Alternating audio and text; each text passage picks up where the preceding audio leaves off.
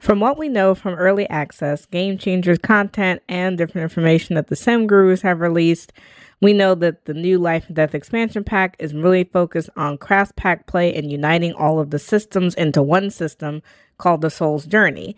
Your Sim's Soul's Journey will be based on their wants, their aspirations, milestones, holidays, and festival invites for young adults and older. So I wanted to list out four packs that I would recommend you buy if you're already thinking of buying or plan on getting the Life is Life and Death expansion pack. Of course, some of the obvious ones, which I'm not going to go over, are the Spooky Day Stuff Pack, Werewolf and Vampire Game Packs if you're into occult play or spooky gameplay. But these are four less obvious packs that I would recommend. Number one, I recommend Growing Together. Family dynamics sound like they're going to work very closely with life and death. These dynamics should affect the way that Sims react at funerals or when listening to a will being read Sim Gurus have confirmed cross pack play with the burnout system that came with the Growing Together expansion pack. I would go so far as to speculate that there should also be cross pack play when it comes to the keepsake box. For those of you who don't remember, the keepsake box can be designated by an elder and used to store personal mementos and entrusted to a younger family member. There are three different levels of keepsake boxes, a cheapskate all the way up to truly ornate, with a cost difference of 100 to 400 simoleons. Elder Sims can designate this keepsake box before they start using it, and it has one of seven different options. Depending on what option your sim, your Elder Sim designates, will affect family dynamics going forward.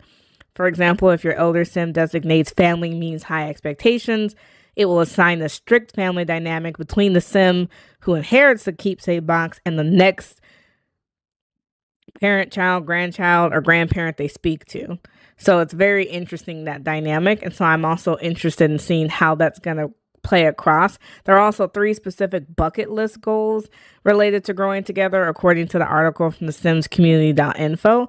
And for that reason, I would recommend growing together as it adds overall gameplay to The Sims 4, but I think it also has a lot of cross pack play with life and death.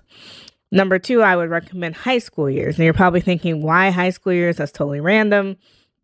In terms of cross pack pay, this pack has the most with seven bucket list items, which includes being scared while in a haunted house, woohooing on a ride. Socially awkward Sims have three different bucket list items, including getting the feeling encouraged trait, feeling understood, and getting the coolest kid in school moodlet. Sims with the party animal trait have a bucket list goal of hosting five social events at any time. And Sims with the overachiever trait have a bucket list goal of being the best, which is a combination of rewards traits, lifestyles, and university degrees. Now that high school years actually works, because it did take quite a few patches to fix all of the bugs in this expansion pack, I think it'd be enjoyable for a lot of people to play. It also sets your sim up to start their soul's journey by getting them a lot of skills and relationships while they're still teens. And it's really easy to follow them during their active high school day. Number three pack, I would recommend the seasons. I think I recommend seasons every time I recommend an expansion pack simply because it's the bare minimum. Having those four seasons and the different seasonal activities gives you more for your Sims to do. I think it make it very pretty to see how Ravenwood looks in the winter versus in the fall and having different sort of outdoor activities in addition to the festivals that come with Ravenwood. It's a bare minimum expansion pack. If ever you're buying one, I always recommend seasons. It also gives more holidays to the base game calendar, specific holidays like Harvest Fest, Winter Fest, where you can meet more NPC characters like Father Winter. So, for that reason alone, I recommend Seasons. And then, number four, as a less obvious choice, I recommend Paranormal Stuff Pack.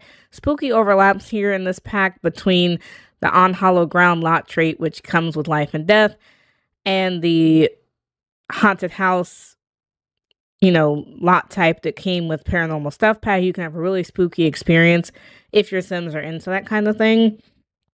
Also, those little specters or whatever those little floating blobs are overlap between life and death and paranormal stuff pack. So again, if you want your sim to be both a active Grim Reaper career and a paranormal investigator, I mean that's definitely an option. And so I think just having more spooky if you're into spooky that's another great pack. So oh, those are the four that I would definitely recommend. As an honorable mention, I recommend cottage living, island living, and city living. those three expansion packs because festivals seem to be a huge part in the Sims 4 world and does affect your Sims soul's journey according to life and death. And there's a lot of festivals that come with those three packs. For example, City Living has four different festivals, including the Spice Festival and the Romance Festival. Cottage Living has weekly festivals or contests, I guess they call them, for cooking, uh, gardening, and animal care. And then Island Living has specific festivals, specific cultural festivals that you have to go to Sulani to participate in.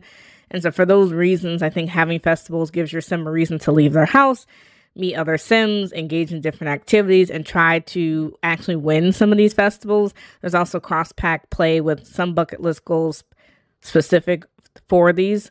So, for example, if you have city living, one of the the bucket list goals is to attend four different festivals in San Myshuno.